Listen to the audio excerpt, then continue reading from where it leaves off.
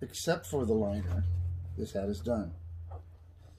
This is called a half drape because the tail, as well as the, the lower end of the hide, is attached to the hat here so that this drapes over the ears. And that's what a face looks like. And this is a beautiful, beautiful fur and beautiful hat. I'm very pleased. So, fish tacos. This is the finished product. Half drape raccoon hat. It's beautiful. Has a nice liner installed. This will make the wearer very comfortable and extra super duper warm. There it is. Beautiful hat.